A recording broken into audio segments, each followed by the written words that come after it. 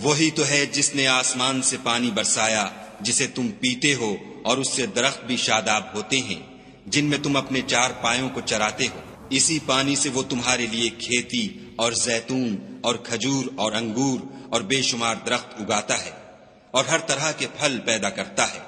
गौर करने वालों के लिए इसमें कुदरत खुदा की बड़ी निशानी है। और उसी ने तुम्हारे लिए रात और दिन और सूरज और चाँद को काम में लगाया।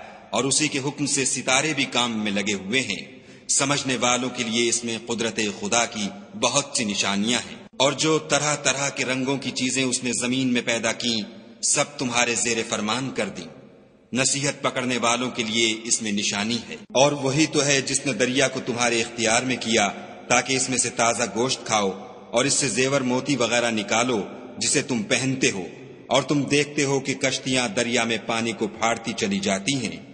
और इसलिए भी दरिया को तुम्हारे इख्तियार में किया कि तुम खुदा के फजल से मुआश तलाश करो, ताकि उसका शुक्र करो। और उसी ने ज़मीन पर पहाड़ बनाकर रख दिए कि तुमको लेकर कहीं झुक न जाए, और नहरें और रस्ते बना दिए, ताकि एक मकाम से दूसरे मकाम तक आसानी से जा सको। और रस्तों में निशानात बना दिए, और लोग सितारों से भी रस्ते मालूम करते हैं। तो जो इतनी मखलूकत पैदा करे, क्या वो वैसा है जो कुछ भी पैदा न कर सके? तो फिर तुम गौर क्यों नहीं करते? और अगर तुम खुदा की नेमतों को शुमार करना चाहो तो गिन न सको। बेशक खुदा बख्शने वाला मेहरबान है। और